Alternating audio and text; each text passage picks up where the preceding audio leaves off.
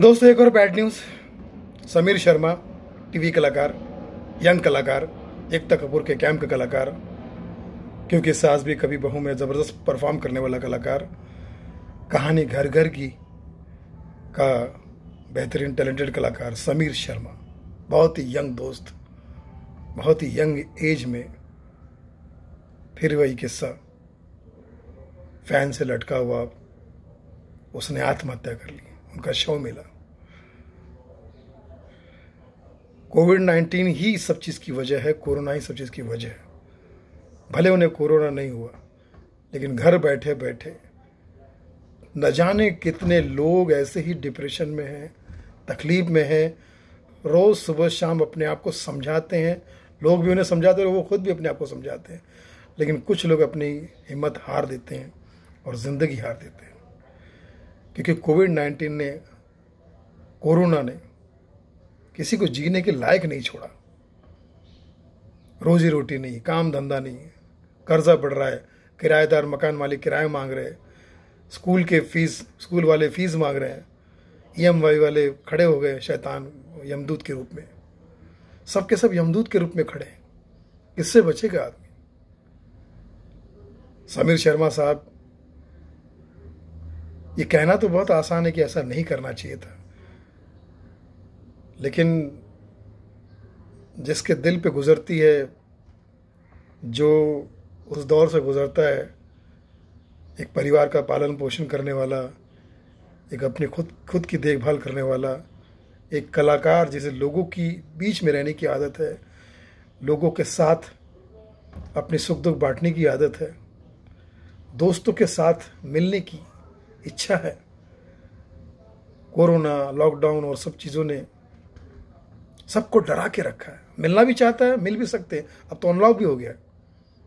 लेकिन फिर भी घर से बाहर निकलते ही कहीं ना कहीं मन में ये शक पैदा होता कि मैं सही कर रहा हूँ क्या? जाना ज़रूरी है क्या? मिलना ज़रूरी है क्या?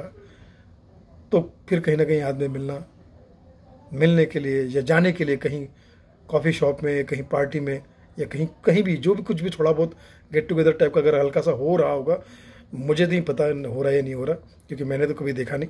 लेकिन अनलॉक के चलते अगर कुछ भी हल्का सा हो रहा होगा, लेकिन उसमें भी लोग भाग लेने में शर्मा रहे घबरा रहे हैं, डर रहे कहीं कोरोना ना हो जाए।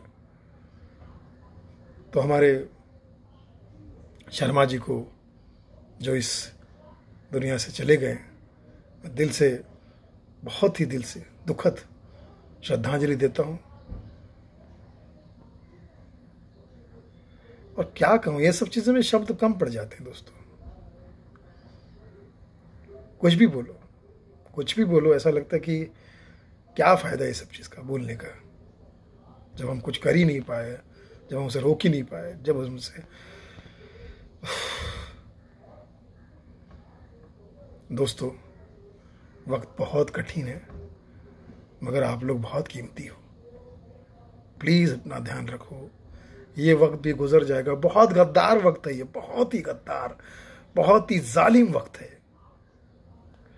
लेकिन गुजर जाएगा दोस्तों। प्लीज़ थोड़ा सा थोड़ा सा पेशेंस और प्लीज़ थोड़ा सा पेशेंस मतलब हाथी निकल गया, खाली पूछ बाकी है। वो हो जाएगा हो जाएगा। प्लीज़, भगवान, अल्लाह, जीसस वाहिगुरु पे भरोसा रखिए। हिंदू, मुस्लिम, सिख, ईसाई, हम सब है भाई भाई। मिल के लड़ेंगे कोरोना की लड़ाई और कोरोना को देंगे दुनिया से विदाई। और फिर से एक बार वही गेट टुगेदर वही महफिलें, वही प्यार, मोहब्बत से मिलना जुलना, सब कुछ होगा। थोड़ा सा पेशेंस रखिए। लव यू ऑल रखना अपना ख्याल। शर्मा जी भगवान आपको आपकी आत्मा को शांति थी बहुत हारा हुआ फील कर रहा हूँ। बहुत ही हारा हूँ।